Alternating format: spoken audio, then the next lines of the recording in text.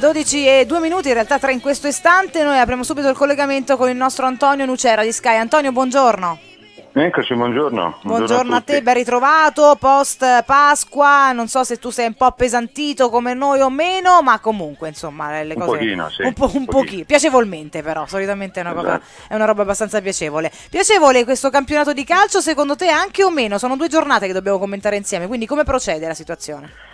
Ah, in questo momento aspettiamo il risultato di stasera della Juve che sarà credo a questo punto decisivo visto che poi mancheranno solo tre giornate alla fine, quindi dovesse superare l'ostacolo Sassuolo e restare con eh, il più 8 sulla Roma possiamo dire che insomma, il discorso è abbastanza concluso. Dovesse invece sbagliare questa partita con 5 punti a 3 giornate alla fine e ancora uno sconto diretto potrebbe in qualche modo riaprirsi, anche se il calendario della Juventus mi sembra ancora abbastanza semplice rispetto a quello della Roma, perché al di là della partita de, dell'Olimpico al 9 di maggio avrebbero due partite giocabili contro l'Atalanta in casa e poi l'ultima contro il Cagliari sempre in casa. Quindi aspettiamo il risultato di oggi, però in linea di massima insomma, solo la Juve potrebbe buttare via questo campionato vista la situazione attuale. Ah, questo è sicuro. Dietro invece insomma, Roma e Ju- Juventus e Roma che insomma, sono lì fisse nelle prime due posizioni e da lì non le schioda sicuramente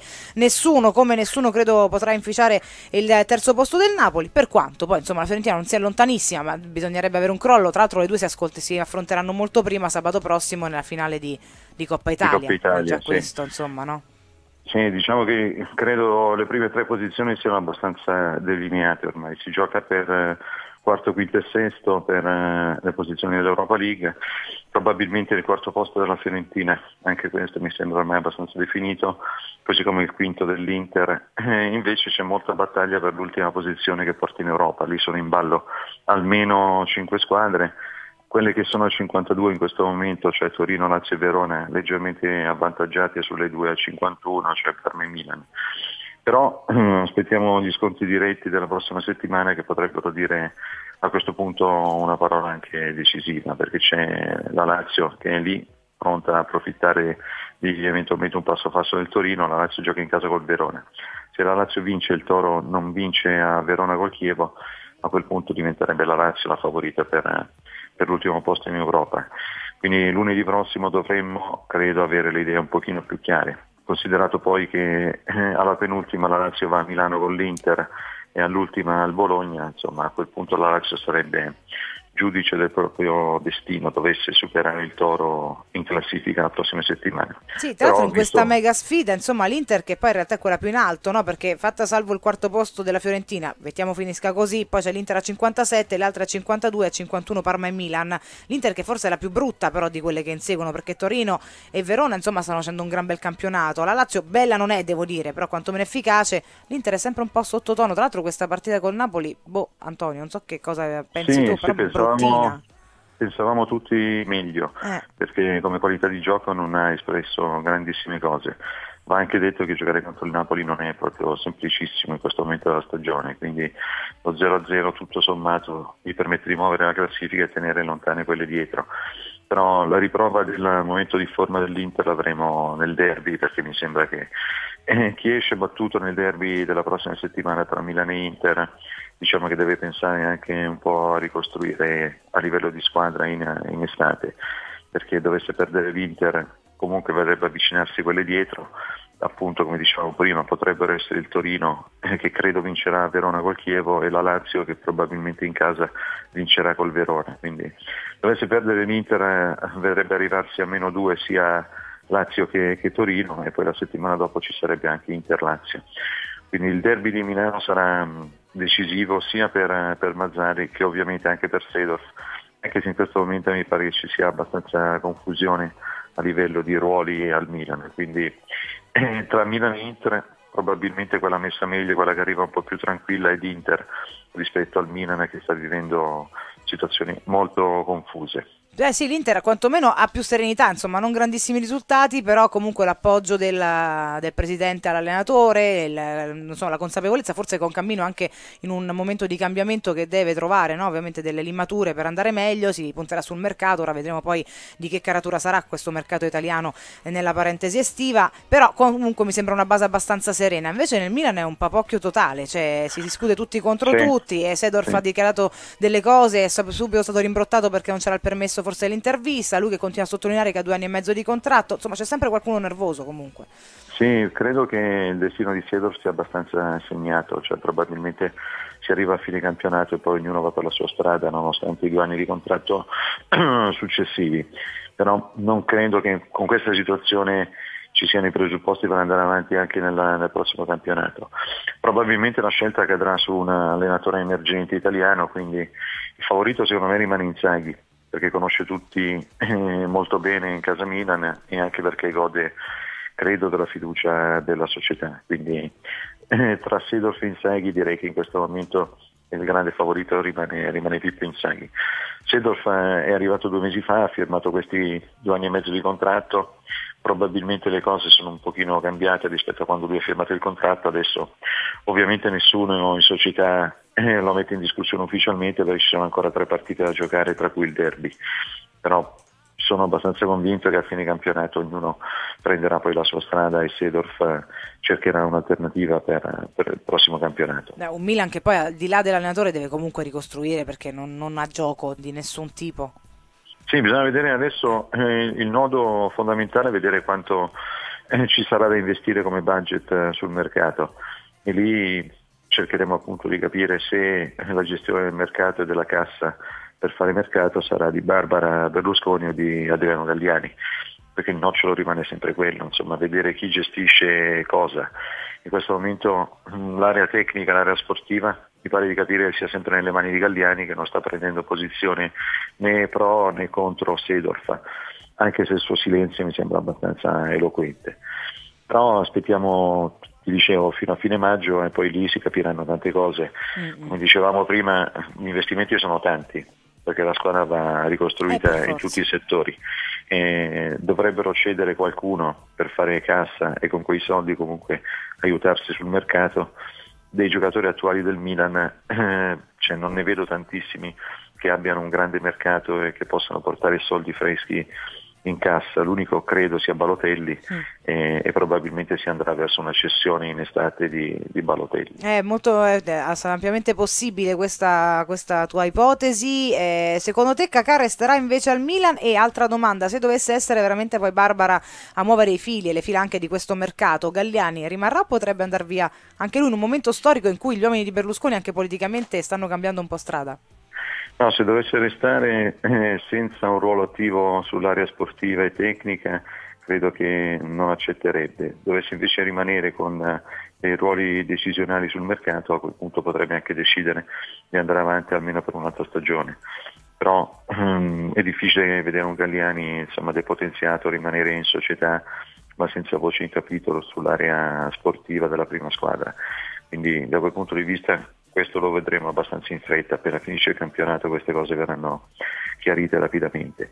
Sul discorso del mercato ti dicevo, secondo me Balotelli è destinato ad andare via mm-hmm. e considerato che eh, soldi in casa in questo momento per fare il mercato non ce ne sono, mi pare che sia una scelta diciamo quasi obbligata, insomma. quindi da qualche parte bisogna andare a prendere della liquidità per spenderla poi e fare il mercato a giugno e luglio. Sì, tanto più che poi in Italia viene anche molto discusso, spesso palesa dei malumori, sottolineando anche che all'estero insomma, sono più d'accordo con lui, questi insomma anche gli ultimi tweet, diciamo sì. così, dopo una giornata abbastanza nervosa in cui si ha dibattuto anche proprio con lo studio insomma, delle televisioni eh, autorevoli e dopo una partita sicuramente sottotono, effettivamente per tutto il Milan, non solamente per lui, però è un po' più protagonista, no? nel bene e nel male, poi se ne parla di più, su questo ha anche un po' ragione. Più avvincente invece la sfida eh, in, in coda coda se vogliamo, attendendo il Sassuolo che potrebbe in qualche modo eh, condannare il Bologna anche se pensiamo tutti che, che, che in realtà cambierà poco, difficile, forse sì, sì, rimarrà un ex equo a 28 punti, questa è la previsione. Però, insomma. Sì, difficile anche perché il Sassuolo in casa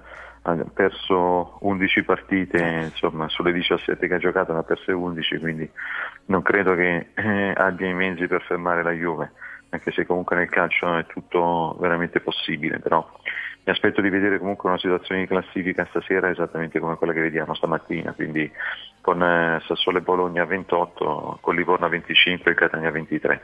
Anche se il Chievo che ho visto ieri perdere a Genova con la Sandoria deve stare comunque molto attento perché a 30 punti non sei assolutamente tranquillo. tranquillo. No, no, mancano tre gare, quindi di tranquillità ancora non si può sicuramente parlare. Invece il Catania, Antonio, è già retrocesso secondo te o metterà comunque domenica prossima nella sfida alle 15 con la Roma tutta la convinzione che ha per poter sperare in un qualcosa di forse insperabile? No, credo che la partita decisiva fosse quella di ieri, cioè vincendo a Verone e comunque rilanciandosi a 26 si sarebbe avvicinato a, a meno 2 dalle due squadre che sono a 28 punti e avrebbe anche avuto possibilità di agganciarle. Così con tre partite soltanto da giocare. In questo distacco credo che ormai la situazione sia andata, probabilmente avremo la matematica certezza della retrocessione domenica prossima perché non mi pare che in questo momento la Roma sia un avversario alla portata del Catania, quindi se il Catania perde con la Roma, come credo abbastanza probabile, con 23 punti poi ne mancherebbero solo due alla fine. E quindi potrebbe arrivare già il primo verdetto matematico per, per, la retrocessione la prossima settimana. Ha sprecato molte occasioni quest'anno il Catania. Tante. Ha sprecate tante, l'ultima quella di ieri col Verona, poi due settimane fa quando ha perso in casa col Torino, insomma ne, ne ha buttate via una marea di possibilità di rilanciarsi e, e credo che adesso il Catania sia, sia praticamente andato mm-hmm. e il Livorno mi sembra sulla strada uh, del Catania perché anche la partita di ieri con la Lazio era più o meno l'ultima spiaggia per rilanciarsi. Eh sì, tra so. po' ci, ved- ci, vivremo un po' questo gioco dell'ascensore, no? chi sale e chi scende sì. Antonio. Io rimango dell'idea che sia una, una Serie A troppo lunga, ehm, semplicemente perché già il livello si è tanto abbassato, ma comunque chi sale spesso viene destinato a retrocedere quasi, quasi subito perché non è proprio a livello, non ha le forze per poter lottare, seppure in un campionato, ripeto, eh, di bassa caratura poi rispetto a quello di, di, qualche anno fa. Pensi che chi salirà dalla Serie B, visto che anche lì insomma più o meno ci siamo e più o meno le ruoli sono decretati, eh, sarà un pochino più partecipe e competitivo oppure vedi più o meno lo stesso livello e quindi chissà insomma che, che campionato sarà? No, no, secondo me rispetto a quest'anno, rispetto alle non promosse di quest'anno vedremo un pochino uh, squadre più attrezzate. Mm. Soprattutto il Palermo che mi pare che abbiano intenzione di fare cose serie in estate sul mercato. Già il Palermo ha vissuto tanti anni di Serie A, è stata una parentesi quella di quest'anno della retrocessione in B, ma come abbiamo visto è durata veramente poco, insomma, con Iachini che l'ha riportato subito in Serie A. E non credo che l'anno prossimo faranno una squadra per lottare per, per non retrocedere, anche perché, come dicevamo prima, il livello della Serie A si è abbassato, quindi basta poco per avere una formazione a metà classifica. Zamparini non ha grossi problemi dal punto di vista economico, quindi mi aspetto un Palermo che investirà parecchio e, e farà una squadra comunque stile Genoa, Sandoria di quest'anno, insomma Udinese, quindi per un campionato eh, sicuramente tranquillo a metà classifica. Sulla seconda che viene dalla Serie B ancora non abbiamo molto le idee chiare, anche se l'Empoli è sempre lì, però eh, l'Empoli ha un altro tipo di, di bacino d'utenza rispetto al Palermo, ha anche un altro tipo di possibilità economiche certamente inferiori rispetto a quelle di Zamparini, quindi dovesse salire l'Empoli a quel punto sarebbe un'altra di quelle squadre, come dicevamo prima, destinata a lottare fino all'ultimo per non retrocedere. E poi vedremo quale sarà la terza, però quest'anno con il playoff allargato della Serie B andranno sei squadre a giocarsi i playoff di giugno, quindi ancora è veramente impossibile definire quale potrebbe essere la terza squadra promossa dalla, dalla Serie B. Bisogna aspettare almeno, almeno 20 giorni. Eh, probabilmente dovremo aspettare. E dobbiamo aspettare anche per capire perché eh, andiamo oltre maniche, Antonio. Scavalliamo un po' dal nostro campionato, una piccola, facciamo una piccola panoramica su quelli esteri. E la prima che ci viene in mente in questo momento è la Premier perché si fa vincente. Aspettavamo, eh, dopo no, la vittoria del, del, Liverpool, questa sfida con il Chelsea. Gli è venuto un po' il braccino, eh, Rez? Ma è venuto un pochino il braccino, ma è venuto fuori anche tutto il talento di, di Mourinho perché nelle ultime due partite praticamente lui ha giocato due partite con eh, tutta la squadra in difesa, sia a Madrid con l'Atletico in Champions, sia ieri con il Liverpool. E alla fine ha portato a casa un pareggio da Madrid e una vittoria da Liverpool, quindi non si può contestare nulla eh, perché come dicevamo anche l'ultima volta, insomma, Mourinho è uno molto concreto, uno che guarda i risultati e vuole portare a casa eh, vittorie, insomma gli piace vincere, quindi a qualunque costo anche per portare a casa questo risultato da Liverpool ha sacrificato un po' lo spettacolo e si è messo dietro aspettando gli avversari ripartendo. Abbiamo visto come è finita. adesso il calendario non è proprio facilissimo per, no. per il Chelsea perché manca, manca pochissimo alla fine e comunque anche dopo la vittoria di ieri sono dietro. Quindi con queste due partite che rimangono per chiudere il campionato dovrebbe vincerle tutte e due e lì diciamo che più o meno insomma, ce la potrebbe anche fare, visto che gli avversari sono Norwich e Cardiff. Il problema è vedere cosa fanno gli altri, perché non credo che il Liverpool perda due punti in queste ultime due giornate di campionato, anche se appunto, siamo abituati a vedere sorprese di tutti i tipi, però con due partite soltanto da giocare mi aspetto di vedere un Liverpool sicuramente vincente col Crystal Palace la prossima settimana, poi l'ultima con Newcastle parte, parte nettamente favorito. Quindi per ora le gerarchie rimangono quelle, quindi Liverpool davanti, Chelsea dietro, c'è l'incognita Manchester City che ha ancora una partita da recuperare, quindi con i suoi 77 punti, meno 3 dal, dal Liverpool, ma una partita da recuperare, il City effettivamente potrebbe anche arrivare però eh, bisogna sempre ricordare che la prossima il City ce l'ha su un campo tosto perché va in trasferta con l'Everton e li può anche tranquillamente perdere, quindi il vantaggio di avere una partita da recuperare a quel punto sfumerebbe.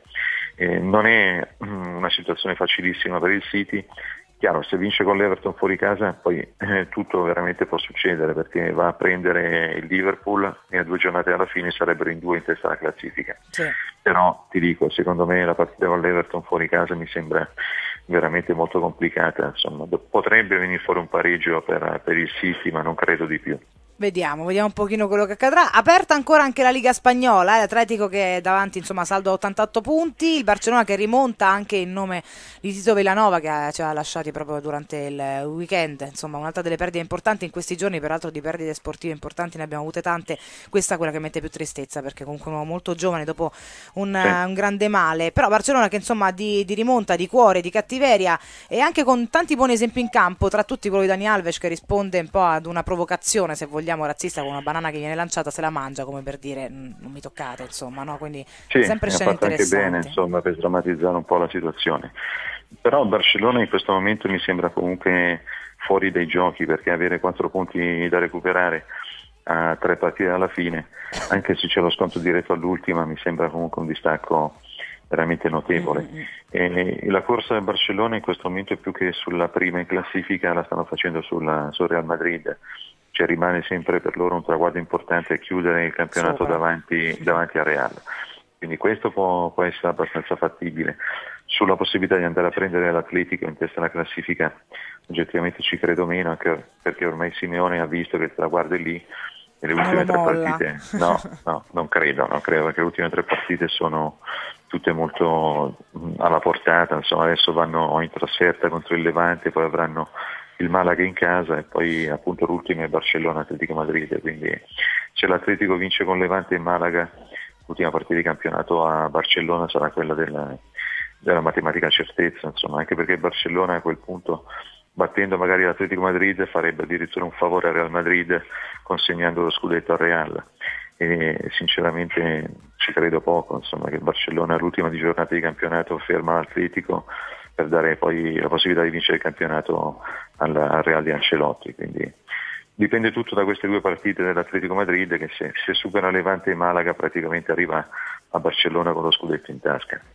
Eh, praticamente, praticamente sì, quindi insomma, vabbè, comunque adesso ce le seguiamo tutte e poi le commentiamo alla fine, seguendo anche intanto la Champions, l'Europa, insomma, lunedì prossimo anche avremo diverse cosine da cui, eh, di cui dibattere. Ultimo flash per te Antonio in questa mattinata, eh, era un lontano 28 marzo del 93, ultimi due minuti di Brescia-Roma, un signore chiamato Vujadin Boskov disse dai facciamo entrare il ragazzino. E lanciò in Serie A il nostro capitano Francesco Totti, Boskov che a 82 anni ci ha lasciati, che personaggio è stato per questo mondo dello sport? Sport? Beh, è stato uno che ha sempre amato sdrammatizzare tutte le situazioni che oggi invece vengono vissute un pochino con troppa, con troppa tensione, insomma.